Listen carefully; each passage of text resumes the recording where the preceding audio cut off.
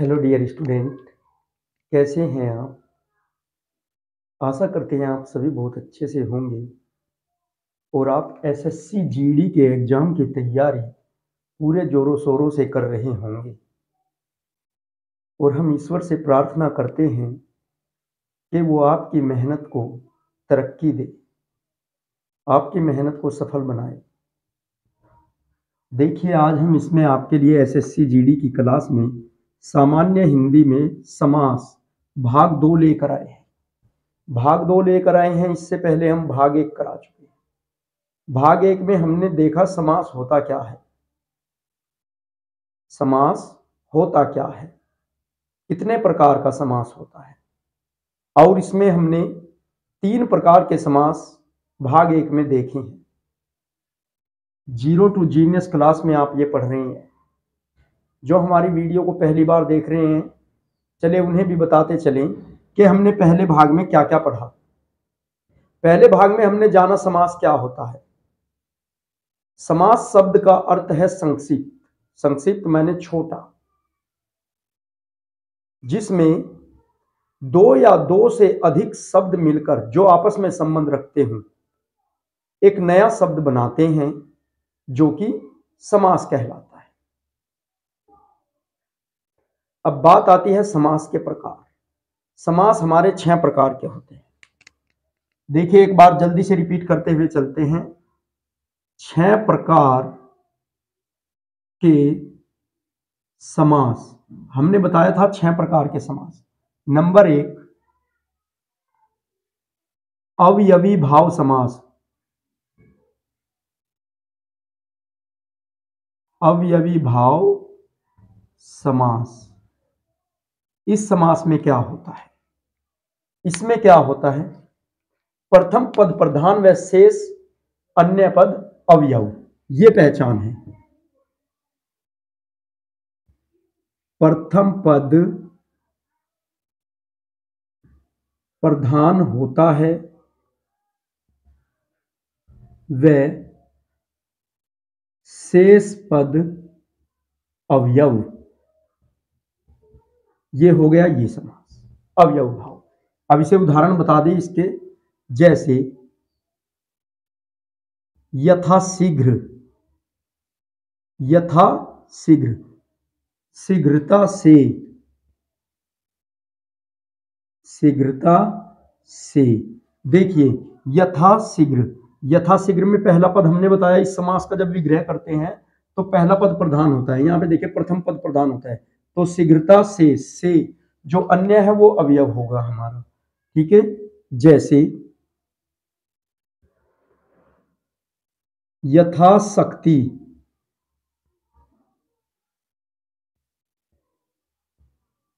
शक्ति के अनुसार। यथाशक्ति। शक्ति के अनुसार। यहाँ देखिए, पहला पद प्रधान है शेष अन्य पद। अवयव बचा हुआ है। शक्ति के अनुसार। तो आपको ये समझ आ गया होगा अवयवी भाव समास। यथाशीघ्र यथाशक्ति आ जन्म आ जन्म। जब इसका विग्रह करेंगे, क्या बनेगा? जन्म से लेकर, जन्म से लेकर। तो इसका प्रथम पद प्रधान हुआ तो इस प्रकार के शब्द हमारे क्या होते हैं? समास कहलाते हैं, जो कि क्या होता है, विग्रह करने पर। देखिए, अवयवी भाव समास में क्या होता है, प्रथम पद प्रधान होता है, शेष पद अवयव होता है।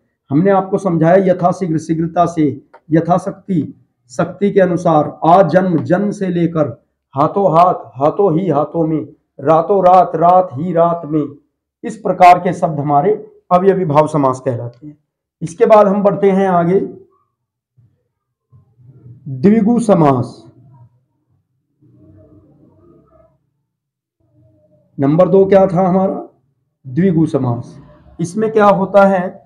इसमें हमारा प्रथम पद संख्यावाचक होता है। मेन पॉइंट लिखवा रहा हूँ। वैसे तो मैंने डिटेल में इसकी वीडियो बना रखी है भाग एक में। फिर भी द्विगु समास।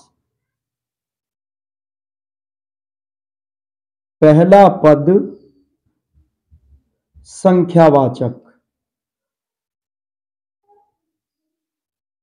संख्या को बताने वाला।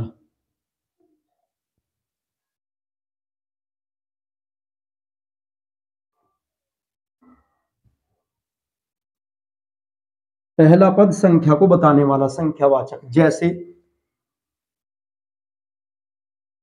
चौराहा।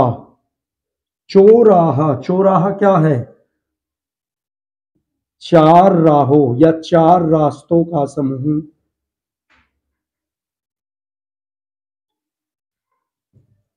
चौराहा, चार रास्तों का समूह। देखिए, पहला पद संख्या को बता रहा है तो हमारा द्विगु समास हुआ। इसके बाद और ले लेंगे।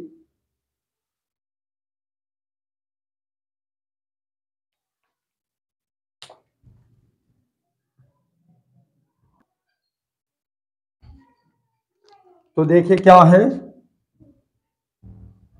चवन्नी।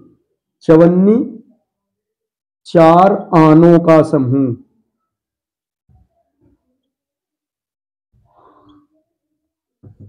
तिरनेत्र। तिरनेत्र तीन नेत्रों का समूह।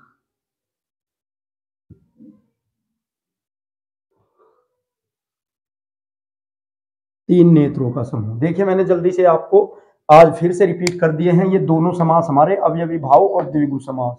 अवयवी में क्या होता है? प्रथम पद प्रधान होता है, शेष पद अवयव होता है, जैसे यथाशीघ्र शीघ्रता से, यथाशक्ति शक्ति के अनुसार आ जन्म जन्म से लेकर। यहाँ पे आप देख सकते हो तीनों उदाहरणों में हमारा पहला पद प्रधान है। इसमें देखते हैं दिगु समास में, पहला पद संख्यावाचक, संख्या को बताने वाला। चौराहा, चार रास्तों का समूह, चवन्नी, चार आनों का समूह त्रिनेत्र तीन नेत्रों का समूह। यहाँ पर आप देख सकते हो, देखिए, पहले पद में संख्या को बताया जा रहा है। तो ये किसमें गया? हमारा द्विगु समास में। चलिए इसे मैं हटा देता हूँ। जल्दी से बात करते हैं तत्पुरुष समास की, जो कि हमने आपको बताया है पहली वीडियो में भी। तत्पुरुष समास। तत्पुरुष समास होता क्या है हमारा?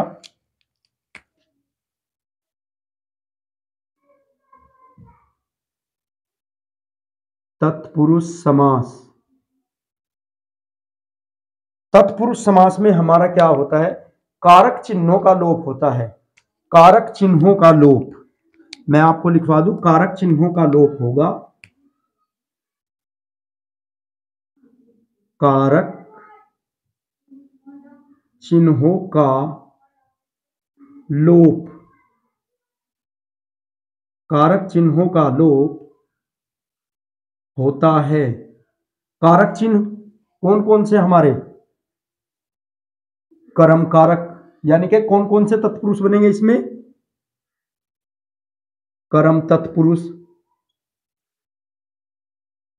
करण तत्पुरुष,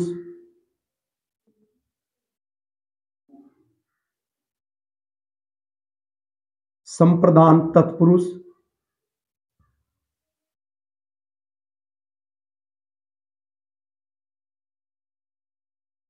अपादान तत्पुरुष।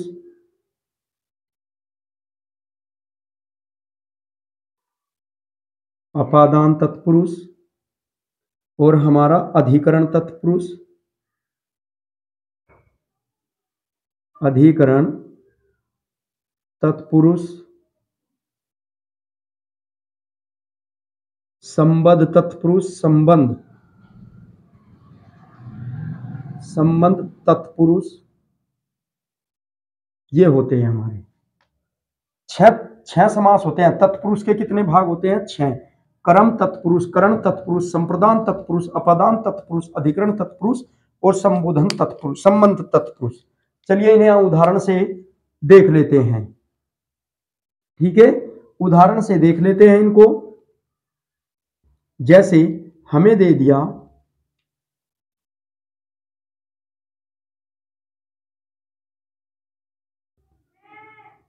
रसोई घर। पूछ लिया कि इसमें बताओ कौन सा समास है। तो आप इसका विग्रह करके देख लोगे। देखिए, आपको पता तो नहीं लग रहा है यहाँ पे, कारक चिन्ह का लोप है। आपको पता ही नहीं लग रहा है कारक चिन्ह। मैं एक बार कारक चिन्ह लिख दू, करता है। इसका कारक चिन्ह होता है को, इसका से, के लिए, से अलग होना अलग होना का, की, के संबंध। इसका होएगा में पर। यह संबंध होगा का, की, के। ये सब। तो यहाँ पे देखिए कौन सा बन रहा है। रसोई घर। तो इसे हम क्या लिख सकते हैं?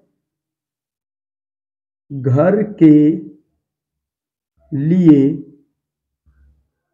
रसोई। रसोई घर।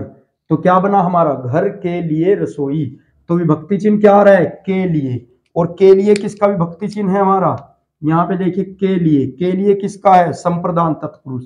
तो हम क्या कह सकते हैं? रसोई घर कौन सा समास है हमारा? संप्रदान तत्पुरुष। ऐसे ही आप और देख लीजिए। रोग मुक्ति। रोग मुक्ति। चलिए इसका विग्रह करके देखते हैं। रोग रोग से मुक्ति। रोग से मुक्ति, यानी कि रोग से अलग हो चुके हैं हम। और अलग होना कौन दर्शाता है? अपादान तत्पुरुष। ये रहा यहाँ, से अलग होना। रोग मुक्ति, रोग से अलग होना। तो कहाँ चला गया हमारा ये? ये चला गया हमारा अपादान में। अपादान तत्पुरुष में से अलग होना, रोग मुक्ति, अपादान तत्पुरुष, किसी वस्तु से, किसी से अलग होना अलग होना कौन दर्शाता है? अपादान कारक। से अलग होना, ठीक है? और देख लेते हैं।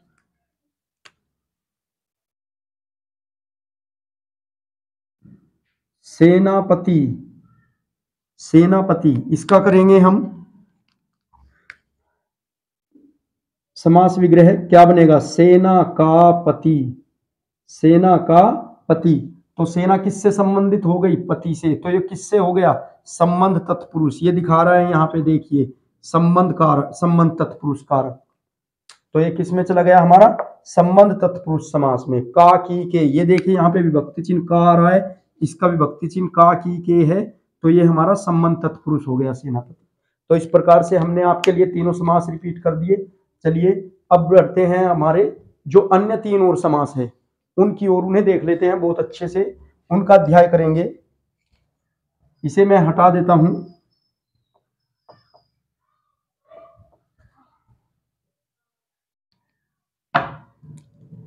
अब बात करते हैं अपने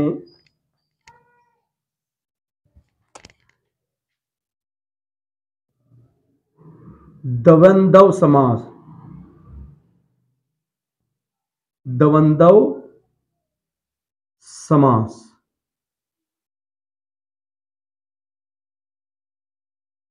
ये क्या होता है? इसके बारे में हम आपको बताएँगे बहुत अच्छे से, आराम से। वो तो रैपिडली थोड़ा फास्टली उनके बारे में बताया है ताकि आपकी नॉलेज बनी रहे। दवंदव समास। इस समास में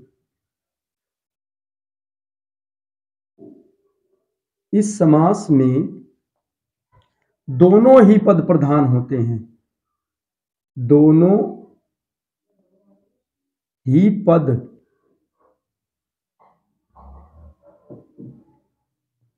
प्रधान होते हैं।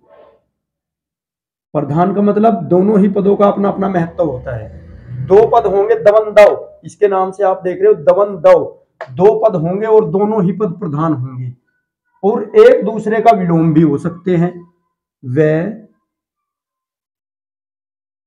एक दूसरे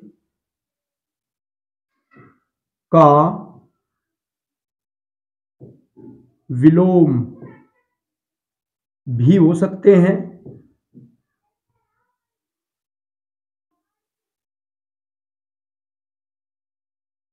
एक दूसरे का में शब्द क्या हो सके विलोम भी हो सकते हैं। तथा योजक चिन्ह दिया जा सकता है, नहीं भी दिया जा सकता। तथा योजक चिन्ह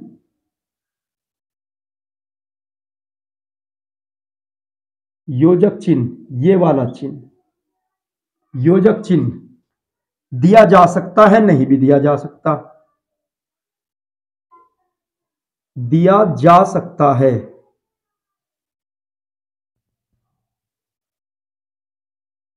या नहीं भी दिया जा सकता?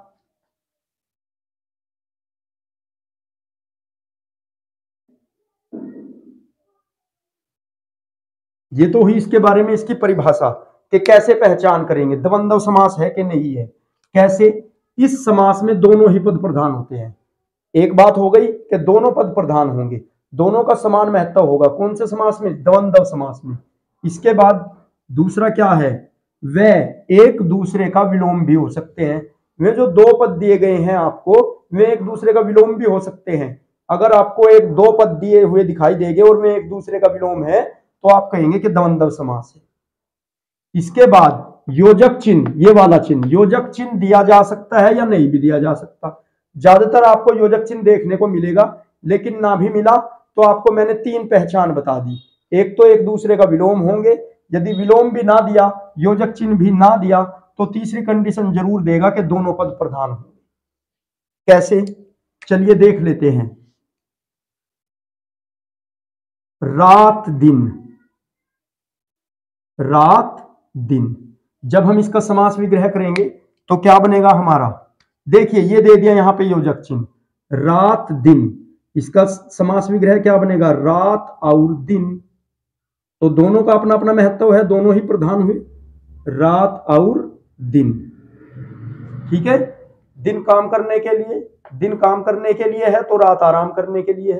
तो दोनों का अपना महत्व है कि नहीं? दोनों पद प्रधान हुए कि नहीं? रात दिन। ये योजक चिन्ह भी दे दिया उसने और एक दूसरे के विलोम भी दे दिए। देखो दोनों मिल गए और दोनों पद प्रधान है। रात और दिन।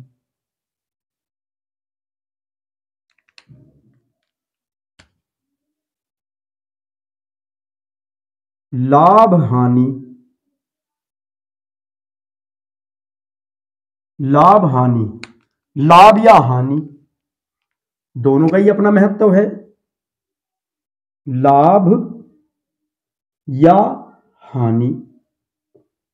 देखिए, योजक चिन्ह दिया गया है और एक दूसरे के विलोम शब्द भी है। लाभ हानि, लाभ या हानि, लाभ और हानि, ऐसे लिख सकते हैं। उसके बाद, ऊपर नीचे माता पिता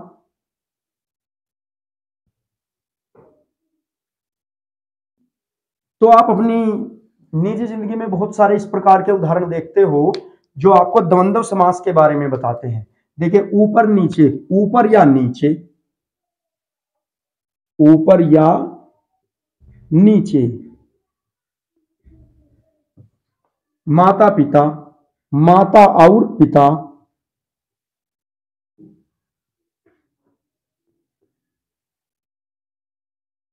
माता और पिता। और बहुत सारे उदाहरण आप अपने सामान्य जीवन में द्वंद्व समास के देखते हो, जिससे आपको यह प्रतीत हो जाता है कि कहाँ पर हमारा द्वंद्व समास है। हमने आपको द्वंद्व समास की तीन पहचान बता दी है और आप तीनों को पढ़ लेंगे तो आप कभी भी द्वंद्व समास या कोई भी किसी भी प्रकार का समास में गलती नहीं करोगे हिंदी की परीक्षा में। और ये बहुत इंपॉर्टेंट है, आप इसका नोट्स बनाते चलेंगे। बहुत ही अच्छे से लिखवाया जा रहा है आपको उदाहरण सहित। जैसे सुख, दुख। अरे बहुत सारे बनते हैं ये तो। सुख, दुख। सुख, दुख। इसका समास विग्रह क्या हो जाएगा हमारा? सुख और दुख। सुख और दुख। ये बन गया। तो ये था आपका द्वंद्व समास, जिसकी पहचान क्या होती है कि दोनों पद प्रधान होंगे, या दो शब्द दिए जाएँगे, दो वर्ड, जो कि एक दूसरे का विलोम शब्द होंगे, अन्यथा उनके बीच में योजक चिन्ह होगा। तो हमने आपको ये तीन पहचान बताई है, आपको कोई ना कोई पहचान वहाँ पर ज़रूर मिलेगी, और आप उसे देख करके आसानी से अपना द्वंद्व समास चुन सकते हैं। चलिए बढ़ते हैं आगे। देखते हैं बहुब्रीही समास। इसके बाद है बहुब्रीही समास।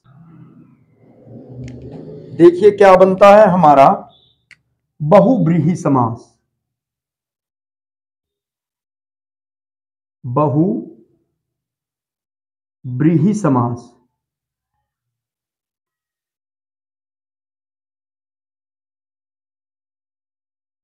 बहुब्रीही समास में क्या होता है, इसकी क्या पहचान होती है, वो हम आपको बताते चले। कि बहुब्रीही समास क्या होता है? इस समास में आए हुए पद अपना अर्थ छोड़ देते हैं और किसी तीसरे पद की ओर इशारा करते हैं, किसी तीसरे पद के बारे में जानकारी देते हैं। दो शब्द आए, तीन शब्द आए तो वो क्या करेंगे? अपना अर्थ छोड़कर किसी अन्य दूसरे पद की ओर इशारा करेंगे, तीसरे के बारे में बताएँगे। तो वो हमारा बहुब्रीही समास कहलाता है। चलिए देख लेते हैं। इस समास में में आए सभी पद, एक पद आ जाए, दो पद आ जाए, सभी पद अपना अर्थ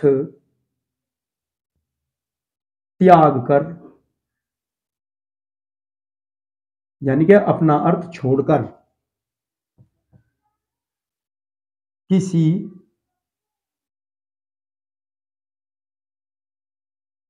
अन्य पद की ओर इशारा करते हैं। अन्य पद की ओर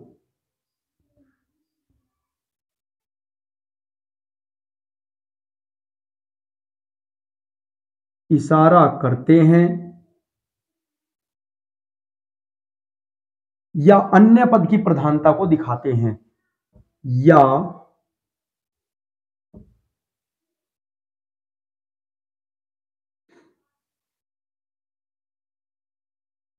अन्य पद की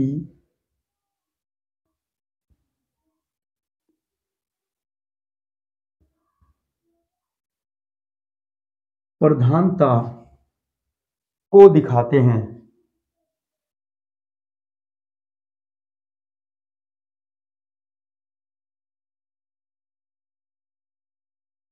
अन्य पद की प्रधानता को दिखाते हैं। देखिए बहुब्रीही समास हमारा क्या बना कि इसमें क्या होता है? इस समास में आए सभी पद, सभी, ये लिखना भूल गया मैं, आए सभी पद, इस समास में आए सभी पद अपना अर्थ त्याग कर किसी अन्य पद की ओर इशारा करते हैं या अन्य पद की प्रधानता को दिखाते हैं। बहुब्रीही समास हमारा कहलाता है। चलिए इसे उदाहरण की सहायता से समझ लेते हैं। यहाँ पर लिखते हैं हम समासिक पद।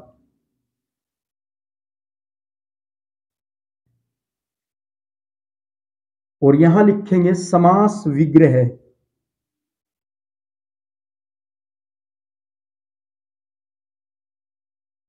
और यहाँ लिखेंगे अन्य पद, यानी कि जिस पद की ओर वो इशारा कर रहा है। अन्य पद, जैसे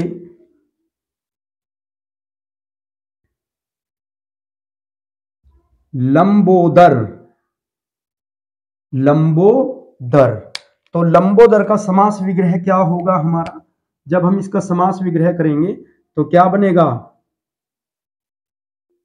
लंबा है उधर जिसका, लंबा है उधर उधर माने पेट, यानी कि जिसका पेट लंबा है लंबा है उधर जिसका। और किसका लंबा है उदर लंबोदर किसे कहा गया है? अर्थात श्री गणेश जी को। अर्थात श्री गणेश।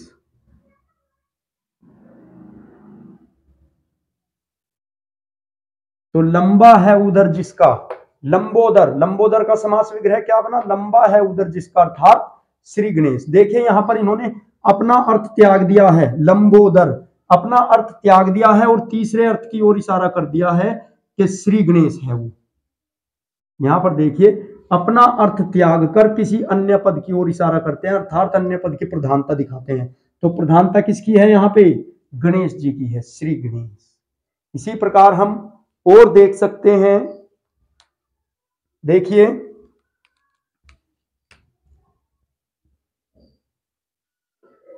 पंचानन। पंचानन। पाँच है आनंद जिसके। आनंद माने मुख।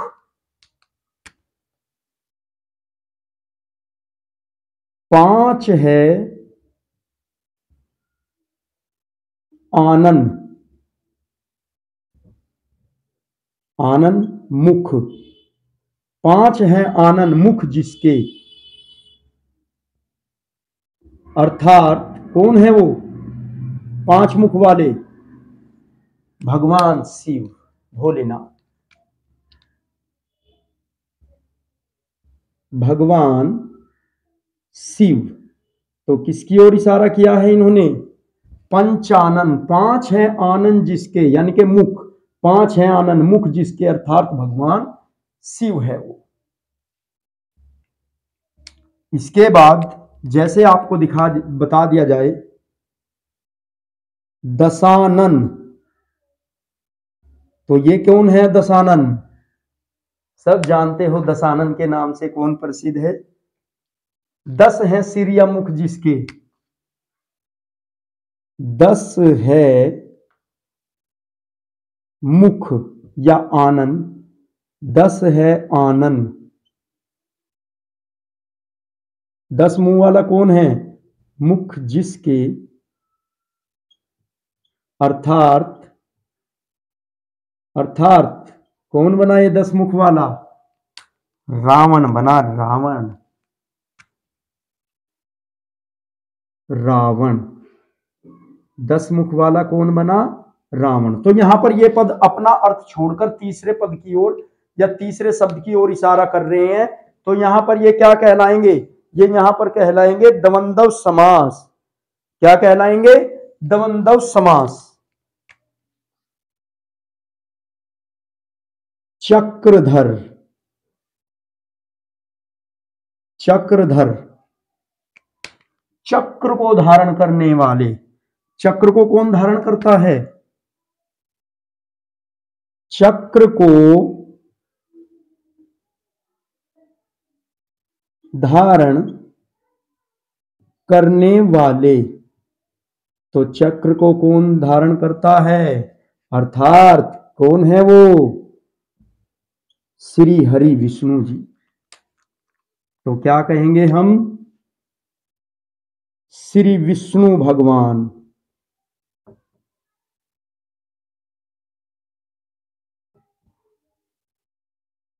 श्री विष्णु भगवान आपका करेंगे बेड़ा पार तो इस प्रकार से चक्रधर चक्रधर, चक्र को धारण करने वाला अर्थात श्री विष्णु भगवान। तो ये हमारा दवंद बहुब्रीही समास में जाएगा, सॉरी, बहुब्रीही में। क्या होता है बहुब्रीही? जिसमें, जिस समास में आए हुए सभी पद अपना अर्थ छोड़कर किसी अन्य पद की ओर इशारा करें या अन्य पद की प्रधानता को बताए, वो बहुब्रीही समास होता है। हमने आपको कुछ उदाहरण यहाँ पर दिए हैं। इनकी सहायता से आपको क्लियर हो चुका होगा, आपको बहुत अच्छे से मालूम हो गया होगा कि बहुब्रीही समास में किस प्रकार से कार्य होता है। लंबोदर लंबा है उधर जिसका अर्थात श्री गणेश, पंचानन पाँच है आनंद मुख, जिसके अर्थात पाँच मुखों वाला भगवान शिव। देखिए यहाँ पे पंचानन, अपना अर्थ छोड़ दिया, इसके अर्थ की कोई महत्व नहीं रहा, भगवान शिव की आ गई बात। तो इस प्रकार से हम बहुब्रीही समास की पहचान कर सकते हैं आसानी से। अब हमारा अंतिम समास है कर्मधार्य समास।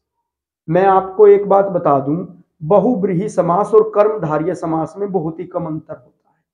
बहुब्रीही समास में तो तीसरे पद की ओर इशारा होता है, लेकिन कर्मधार्य समास में बस समास का विग्रह होता है।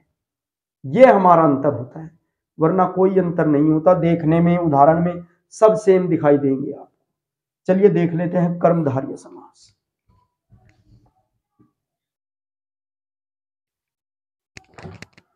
अब देख लेते हैं, हमारा अंतिम समास है कर्मधार्य समास। कर्म धार्य समास।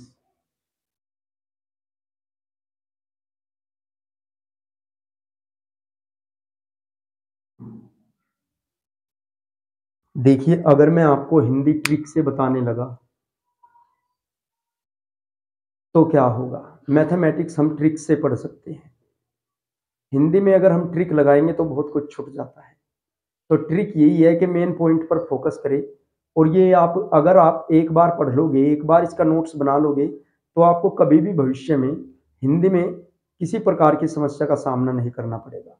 और आप अपनी परीक्षा में शत प्रतिशत इस हिंदी में 40 में से 40 नंबर लेके आओगे, यदि यहाँ से आप पढ़ोगे। चलिए देख लेते हैं कर्मधार्य समास हमारा। क्या होता है कर्मधार्य समास? देखिए, जिस समास में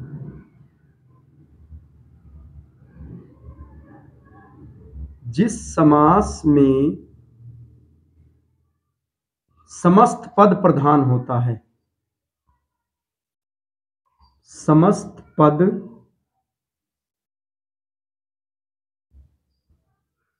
प्रधान होता है।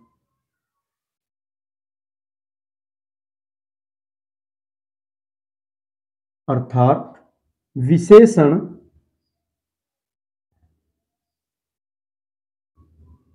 विशेषण और विशेष्य विशेषण और विशेष्य दोनों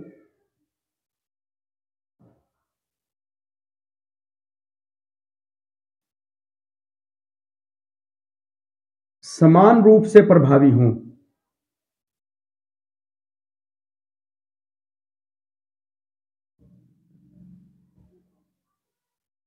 विशेषण और विशेष्य दोनों ही समान रूप से प्रभावी होंगे। प्रभावी हो, तथा एक ही कारक विभक्ति का प्रयोग होता है। तथा एक ही कारक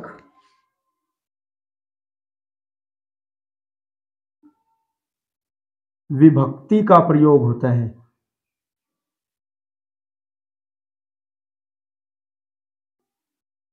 प्रयोग होता है। एक ही कारक विभक्ति का प्रयोग होता है। विशेषण और विशेष से समान रूप से प्रभावी होते हैं और समस्त पद ही हमारा प्रधान होता है। देखिए पॉइंट हमारे क्या है? मेन मेन एक ही कारक विभक्ति का प्रयोग, विशेषण और विशेष्य दोनों समान रूप से प्रभावी।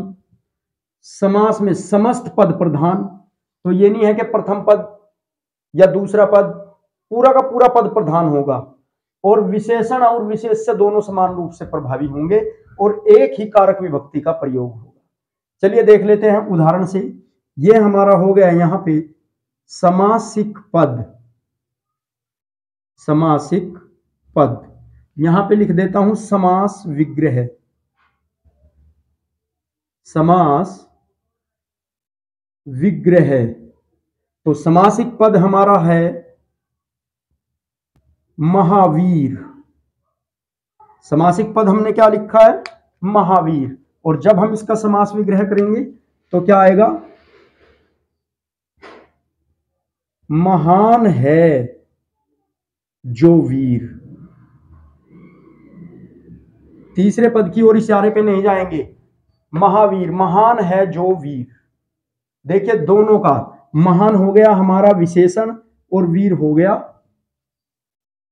वीर तो जिसके बारे में बात की जा रही है।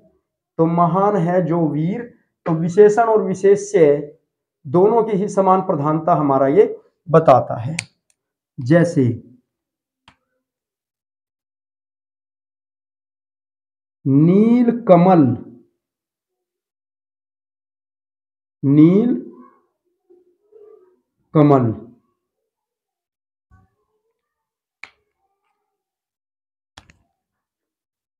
नीला है जो कमल। नीला है जो कमल। नीला है जो कमल।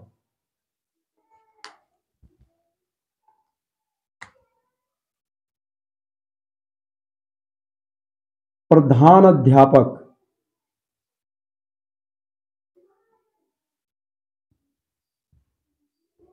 प्रधान अध्यापक।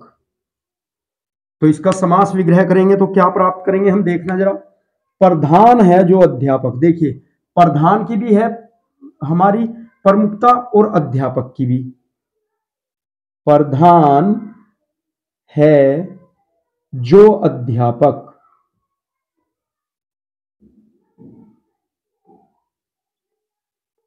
प्रधान है जो अध्यापक। इस प्रकार से आप देख रहे हो यहाँ पे कि यहाँ से हम देख सकते हैं कि इसमें विशेषण और विशेष्य दोनों की प्रमुखता है और पूरा पद, समस्त पद ही हमारा प्रधान है इसमें। ये आपको बहुत अच्छे से समझ आ गए होंगे आज। कर्मधार्य समास। आप इसको जब भी देखोगे, इसके एग्ज़ाम्पल से भी पहचान लोगे कि महावीर। महान है जो वीर, नील कमल, नीला है जो कमल। तो इसमें कर्मधार्य में क्या होता है? वो आपसे स्पेशल पूछेगा कि कर्मधार्य समास का उदाहरण है। कर्मधार्य समास का उदाहरण है, आपको दे देगा नील कमल या नीला है जो कमल, इसका भी समास विग्रह है।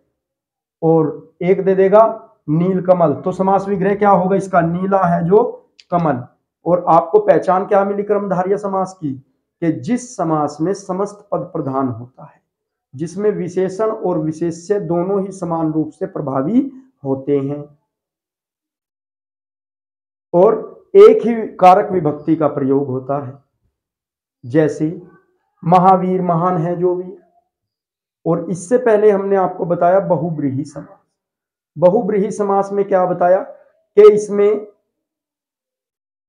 समासिक पद का अपना कोई महत्व नहीं होता। क्योंकि उसमें चाहे दो पद आए, चाहे तीन पद आए, दोनों ही अपना अर्थ त्याग कर तीसरे पद की ओर इशारा करते हैं, अर्थात तीसरे पद की प्रधानता बताते हैं। जैसे लंबोदर, लंबा है उधर जिसका अर्थार्थ श्री गणेश, पंचानन पाँच है मुख जिसके अर्थार्थ भगवान सिंह और उससे पहले हमने आपको दमंदव समास बताया। दमंदव में क्या बताया हमने आपको? कि इसमें दोनों पद प्रधान होते हैं समान रूप से। और योजक चिन्ह दिखाई देगा आपको, और एक दूसरे के विलोम शब्द भी मिल सकते हैं। जैसे रात, दिन, रात और दिन, माता, पिता, माता और पिता। इस प्रकार से आज हमने आपके समास को कंप्लीट कर दिया है इसमें। हिंदी की क्लास में कल आपके लिए संधि की क्लास लेके आएँगे। संधि बहुत ही परीक्षा की दृष्टि से बहुत ही महत्वपूर्ण होता है। हर किसी परीक्षा में एक दो संधि पूछी जाती है तो आपको बहुत ही सरल स्वभाव से, सरल तरीके से हिंदी की क्लास में संधि कराई जाएगी। तो आप यहाँ से समास देखिए और परीक्षा में हाई स्कोर कीजिए।